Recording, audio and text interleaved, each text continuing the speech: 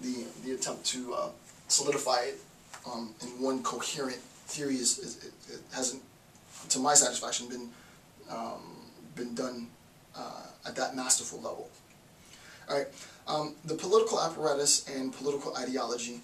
There is a denial of false consciousness, which we talked about, and the ide- ideological consent as necessary. Right, so ideological consent becomes necessary.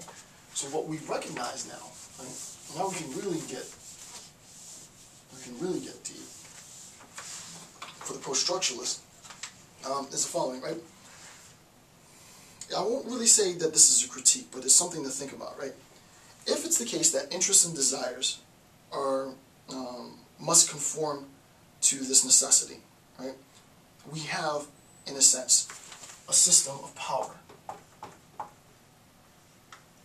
And this system of power is essentially your inex- your inex- the power is itself inescapable. If you live within the territorial confines of whatever jurisdiction, you are subordinated by that power, right? And we'll talk about a collective of individuals, right? Not just one individual, right? So that power is um, imposed, is used in a sense to subjugate a class of people or a group of people. Not for better or worse, it just it just is, right? I don't have the same access to power or use to power that that you do. It doesn't have to be so far as being subaltern, but just oppressed, right? It doesn't have to be the case that it's subaltern. We know that there is the subaltern, which would actually be a, a smaller class below the oppressed class to be technical. So now we can look at the uh, oppressed, and we can look at the and there might be some tenuous ability to communicate with the um, those in control of power, but usually power is enforced to pacify. And what is being pacified? Our collective, potentially collective desire to revolt.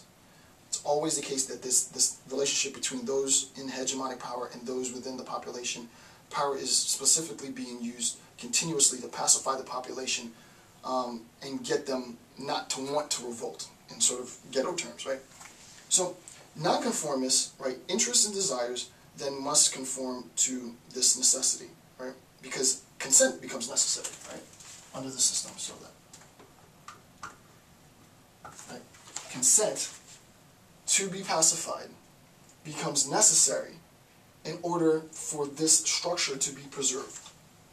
If you refuse to consent to be pacified, then what you're saying is that now I'm going to attack, we're going to collectively usurp the power, and thus revolution, civil war, so on what, what's being stated here in fairness to post-structuralists, especially if we look at sort of the uh, Algerian War of Independence, right?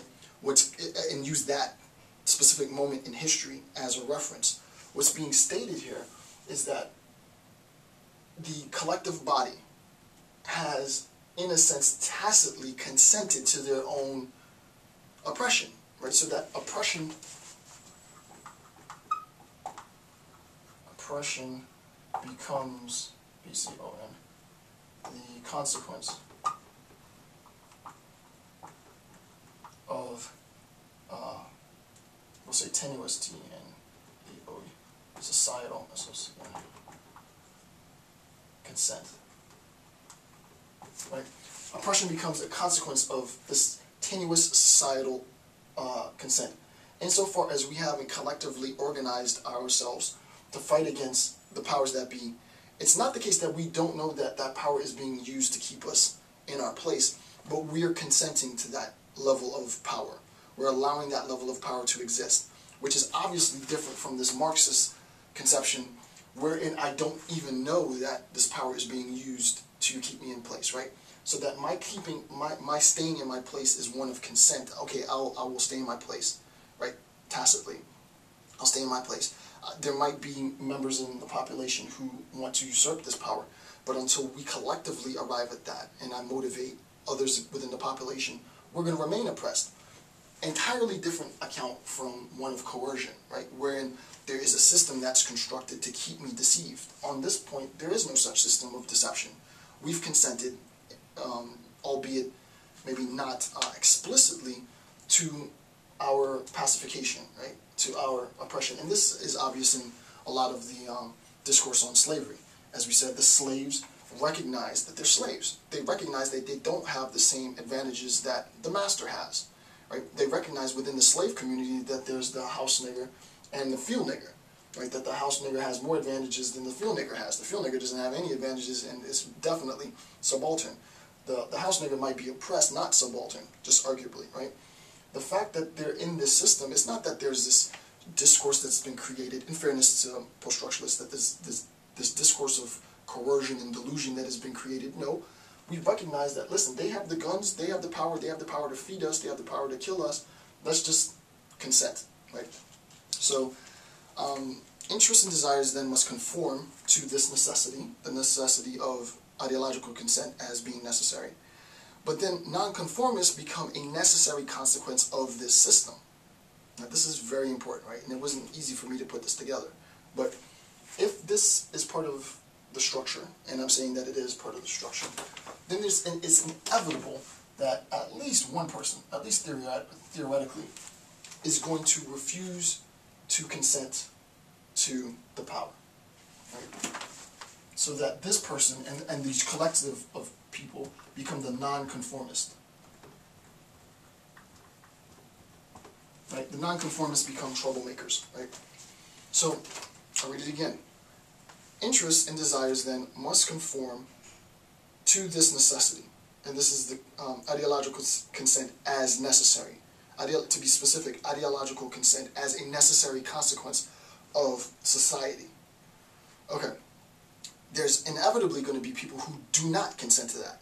Those people are nonconformists, right? So nonconformists become a necessary consequence of this system. This system, there is a recognition within, among those with power, that nonconformists become a necessary byproduct of this system. Thus, it is is to look at the application of this this notion um, within uh, Arendt's work. Now, Hannah Arendt herself wasn't obviously um, a post-structuralist. The reason why I'm using this citation um, is because I believe that the citation is a, a perfect emblematic um, articulation of this concept, right? And the idea is in opposition to this Marxist elaboration of, of, of, of oppression, in which oppression comes as a consequence of coercion, post-structuralists are saying, listen, oppression, subalternity, doesn't come as a consequence of hegemonic coercion, but from population consent, right? Um, this consent is societally based, so that we socially consent to adapt our behavior in line with those who have power. And obviously what's going to have, happen as a byproduct of this system is that the vast majority of people will consent. But invariably, and those who orchestrate this power know this, invariably there'll be those who refuse to consent. And these are the nonconformists, right? The nonconformists are a natural byproduct of this system. What ends up happening then is that the nonconformists ideologically, right? Instead of just looking at it as ideological nonconformity, I disagree with the way that you construct the system. That ideological nonconformity is transformed into physical nonconformity conformity in a population of people who threaten the actual power of the system, right? These nonconformists threaten to undermine the power of the system. These are the revolutionaries. This is the vanguard, the avant-garde, and so on, right? So these nonconformists are a threat to the power of the system. And what ends up happening is we externalize that threat in the physical body of those people. That group of people, those, they, are a threat to us. Obviously, for genocide scholarship, this has direct implication for what I do in my analysis, so I, I particularly find this this approach useful. Not to say that I'm a post-structuralist. Again, I don't I don't I don't subscribe to um, post-structuralism. I don't um, I don't necessarily believe in the, the, the definition of post-structuralism, though I understand the concept, right? And I think more importantly than anything is the concepts are viable. The, the label, you know, scholars haven't uh, attributed the label to themselves, and there's a ton of debate as to whether it actually exists.